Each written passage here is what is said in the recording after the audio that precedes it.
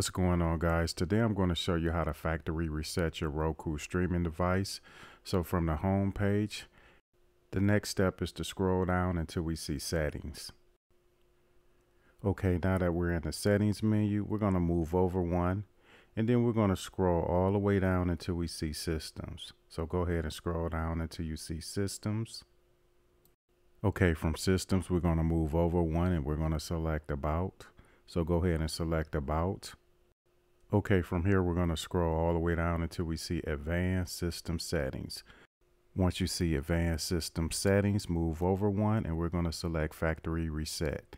Now, as you can see under the keypad, it says, please enter the code, whatever code it asks you to enter to reset everything to the original factory settings and remove all accounts.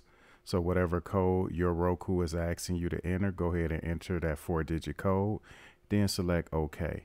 You should see this factory reset restarting prompt. And once this process has completed, the Roku will reboot. Then you should see the dancing Roku logo. And that's it. After you see the dancing Roku logo, your Roku has been set to the same condition as if you just bought it from the store. So I hope this video was helpful. Please like, subscribe, and share. And until the next time, stay wavy.